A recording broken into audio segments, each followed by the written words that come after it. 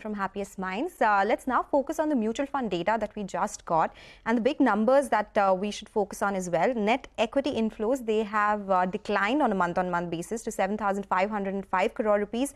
There's a big inflow in hybrid funds and this category has been gaining some traction after the debt mutual fund um, uh, taxation changes as well. And this time around, it's 12,421 crores. That's the inflow that we are seeing this time.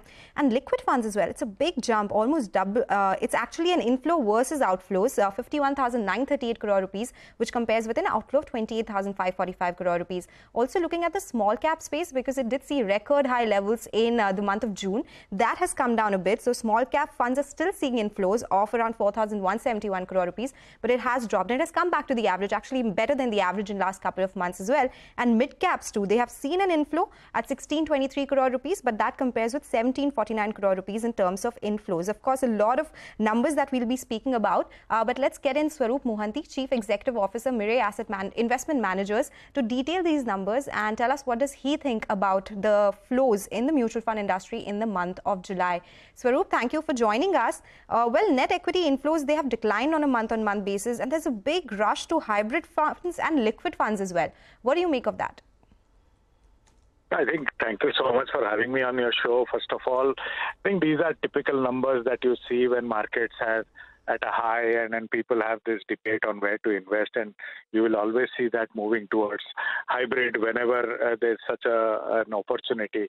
So i'm not very surprised to see the hybrid uh, flows now. As you rightly said some amount of it could be in the savings fund which which is like the equity savings fund which could be you know a shift from the debt side. I'm not a big proponent of that because you don't move investments on taxation.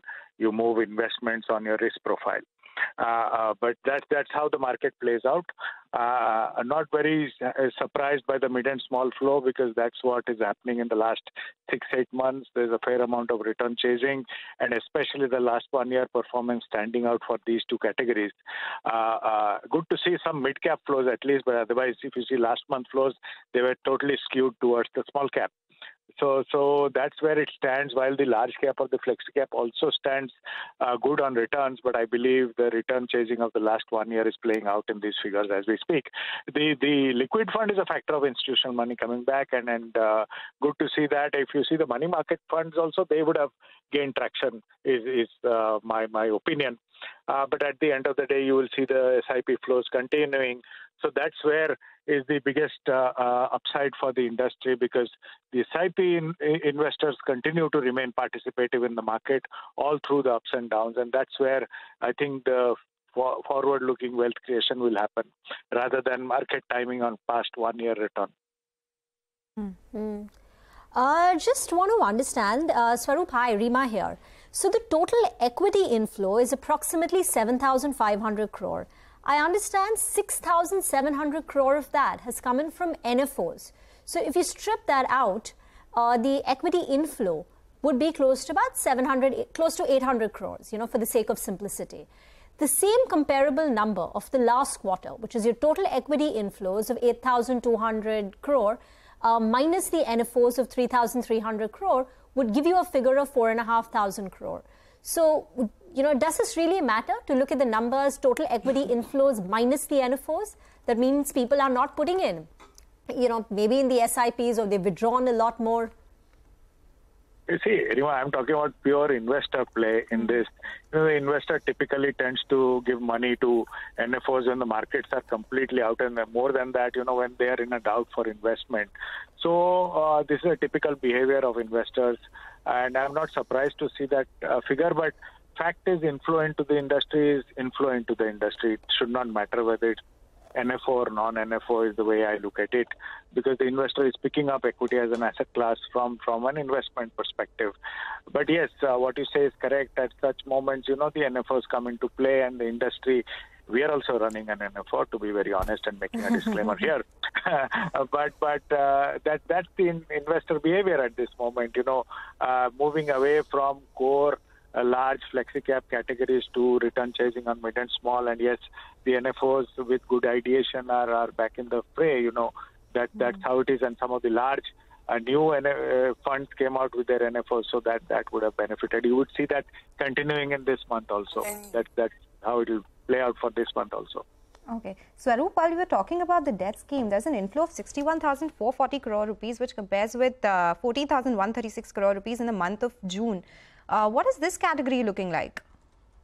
The June end is a quarter end, so so we see the institutions going out and they come back this month. So so that's a month end phenomena which had gone out. That money just coming back into the play this month. So the industry would always benefit in the in these such months. But when when it's a quarter end, typically money goes out into the balance sheets. Okay, so par for the course is what the July data looks like. Swarup, thank you so much for joining us today with your insights. Of course, we are awaiting the SIP number as well uh, because that will also give a sense of how much retail investors are really putting in as well. Uh, important flash flashes at the bottom of your screen, and that's coming in from WeWork India because there have been uh, there have been reports about uh, going concern concerns on WeWork globally that uh, there could be some cash flows issues, and uh, there was there were concerns around accounting and uh, the going concern behavior of the company as well. Now, WeWork uh, India has written to CNBC TV 18. They have responded. They said any development globally has no impact on our business here.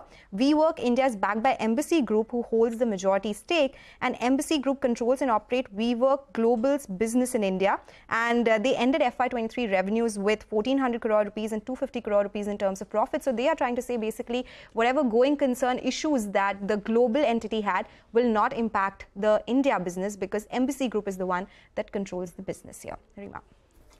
Okay, let's uh, get into a short break on that note. We'll come back with more on the market. Stay tuned.